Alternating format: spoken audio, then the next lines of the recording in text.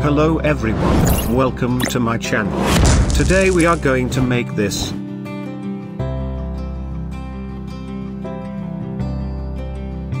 Create a new composition.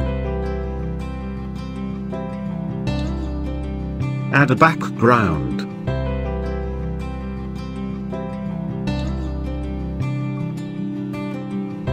Add the ball.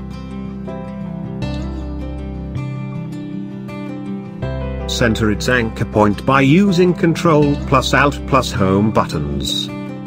Center its position by using Ctrl plus Home buttons. Now add the rope.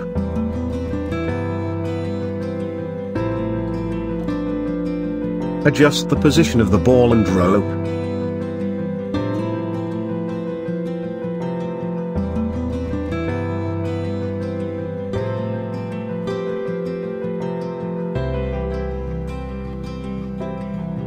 Let's make the rope round. Set the anchor point of the rope to the extreme left as I am going to rotate it from that point.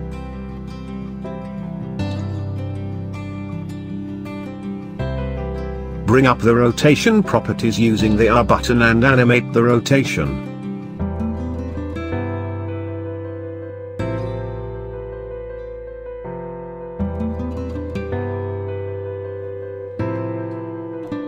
Easy ease the keyframes by pressing F9 button and adjust the speed graph.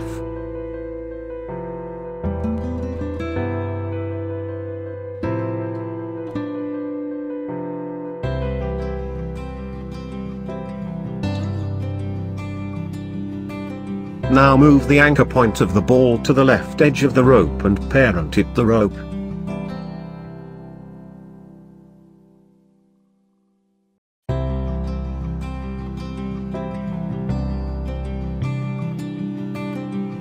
Now add echo effect to the ball from the effects and presets menu.